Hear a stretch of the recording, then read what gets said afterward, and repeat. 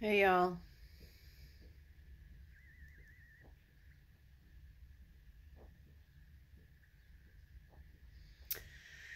So it's been quite a week in many ways.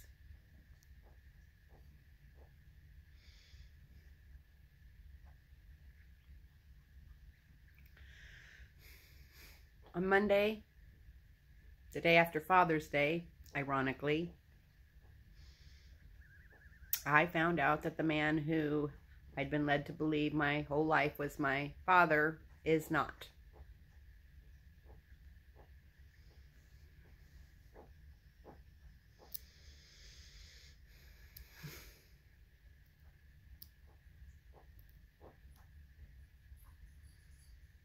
To say that I'm bewildered is an understatement.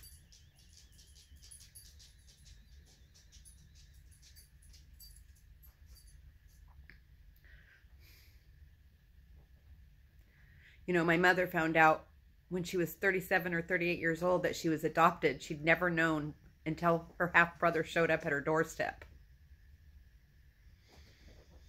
So that's when I learned that that family wasn't really my family.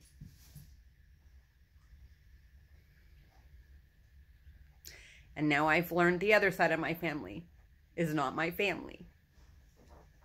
So basically, I have no family except for two half brothers and my two living children. And the only family I've ever been around that's truly related to me, other than those people, in my whole entire life, is was my mother.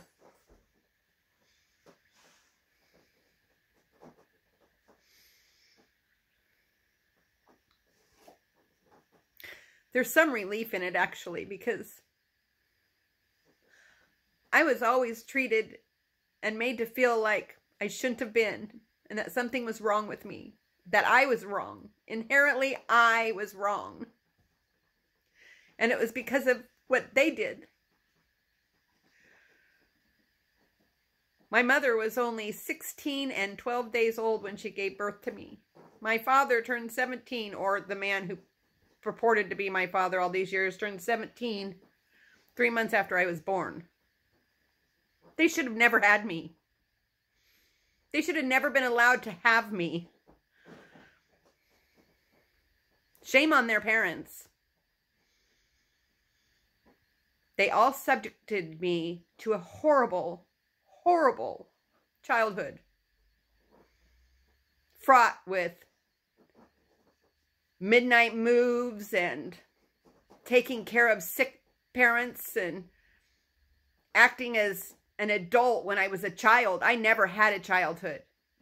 In fact, I've had a counselor say that I was a feral child, and that is the truth. My parents were emotionally absent my entire life. They did not show up for me. I raised myself. Oh, yeah, there might have been a roof over my head most of the time. Food, sometimes, sometimes not. Because the alcohol was more important, or the cigarettes.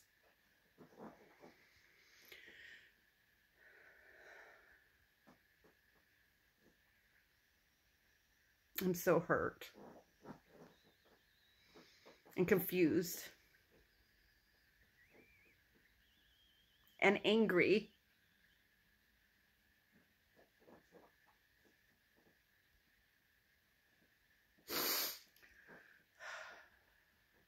So anyway, that's what I've been kind of trying to wrap my head around all week.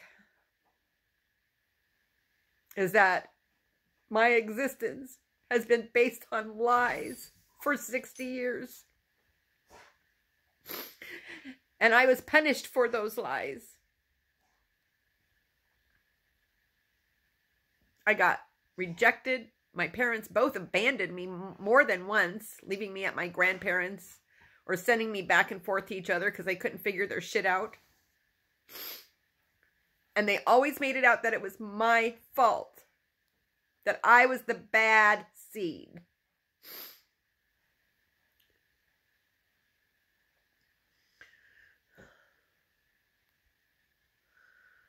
So finding this out and then hearing about Roe versus Wade being overturned, I'm furious.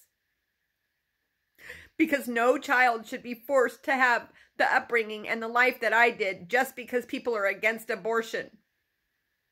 That's fucked up. That's so messed up.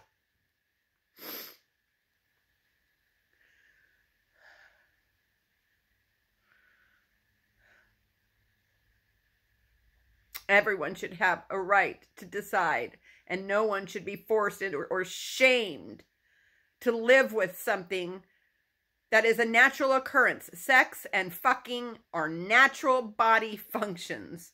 And just because the risk of a pregnancy is there should not make every woman have to risk her whole life, let alone that of the child being born when they aren't wanted because it feels bad. Let me tell you, living a whole life like I have, I've been unwanted. Unwanted. Unwanted. And I had to live with that. That hasn't been nice. It's not been good. Those that have known me my whole life, they know the hardships I've gone through, or at least some of them.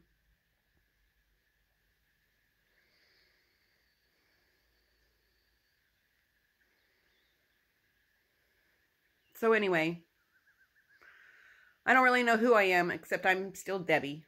I'm me. I, I still am the person who cares for the underdog. The person that's mouthy and will say what she says, and she doesn't give a fuck what y'all think, because I did that my whole life. I bit my tongue, but I don't bite my tongue anymore. I throw my fucks out there all I want to.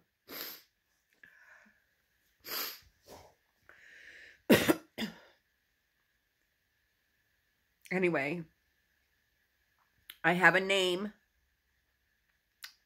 and I have a picture of who might be my father, and it looks quite compelling.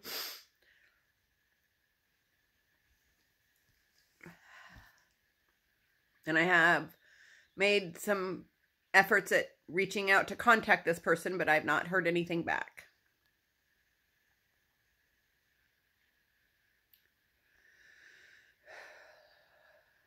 Anyway. So the secret's out. I am not related to the Mayberry clan or the Roberson clan. Dwayne Mayberry is not my biological father. And they all lied to me for 60 years.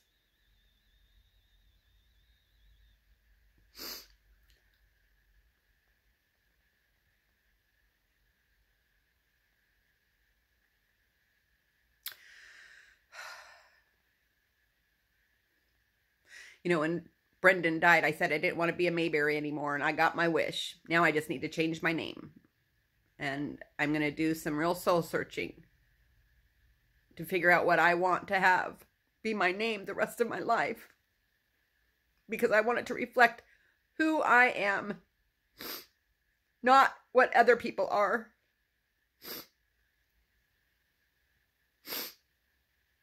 Anyway,